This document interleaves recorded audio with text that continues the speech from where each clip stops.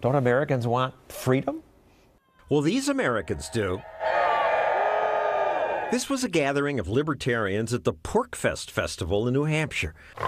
The name PorcFest doesn't come from the pork that politicians hand out and that we libertarians hate. PorcFest stands for the Porcupine Freedom Festival. The porcupine is the symbol of the Libertarian Party because porcupines are peaceful animals that just want to be left alone. But you better not monkey with them because they have sharp quills.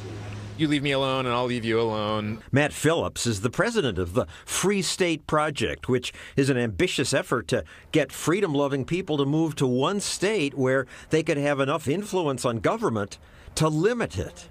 We've got about 2,000 people that have moved so far. We've got another 2,500 that were already here who uh, signed up as friends of the Free State Project. We got 18,000 more on the way. First New Hampshire, then the world. Why New Hampshire? Why not Australia? I mean, we're higher on the Economic Freedom Index. My producer, who's from Australia, didn't understand why libertarians picked New Hampshire. You know, we have no uh, state income tax, we have no state sales tax. It's the place where we lure people to give them a taste of what it's like to be hanging out with other libertarians all the time. And they, a lot of people come here and they either never leave or they, they realize that they've got to move here uh, pretty quickly. Here, freedom lovers get to be with other people who care about freedom. Maybe if you like to do some drugs other than alcohol, uh, you know, nobody's going to bat an eye at that and uh, be too concerned as long as you're not hurting anybody. Suddenly, I was uh, feeling not um, as isolated anymore. Every day of the month, if you wanted to, you could go to a different libertarian meetup group. Sometimes you talk about politics, sometimes you talk about the movie you saw last night. But when you're talking about it, you've got that underlying shared understanding of the way the world works and the way the world should be ordered. And uh, that's can be really comforting. It's a relief from standard American politics.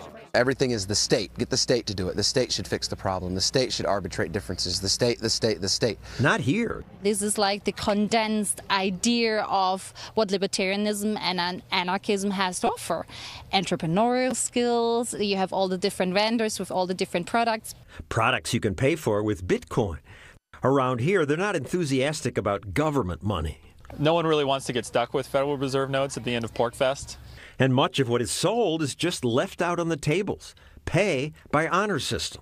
You could walk up to that table and get a piece of silver bullion off of it and just walk away at 2 o'clock in the morning. But there might be an AR 15 in the tent. Right. The honor system works in the libertarian world because many people are packing. If you bump into five individuals at any one time, three of them are probably armed and two of them heavily. This is LC Ruger 380. It's very comfortable and it's colorful. An armed society is a polite society, and that's what we have here. We have an armed and very polite society. Not only would we defend our own property, we would defend each other's property. There are plenty of people here who like being different for a week, I kind of get to pretend that I live in a little tiny society uh, made up of uh, people that love freedom. I was originally born in the Soviet Union, so I know firsthand that socialism doesn't work. There's a diversity of opinion here, even within the libertarian community. So it's just nice to see all that kind of brought together. You have the church just up the hill. You have the mosque here. You have the pagan, you know, thing is just right over there. All these people from all these different walks of life. Most libertarians their whole lives have been told, oh, you're a freak, you're on the fringe, you're strange, you're radical, you're dangerous.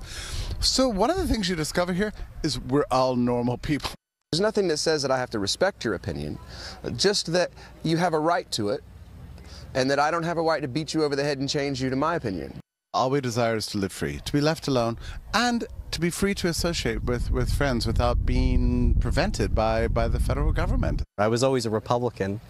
Um, up until October 3rd, 2008. That was when George W. Bush signed TARP into law.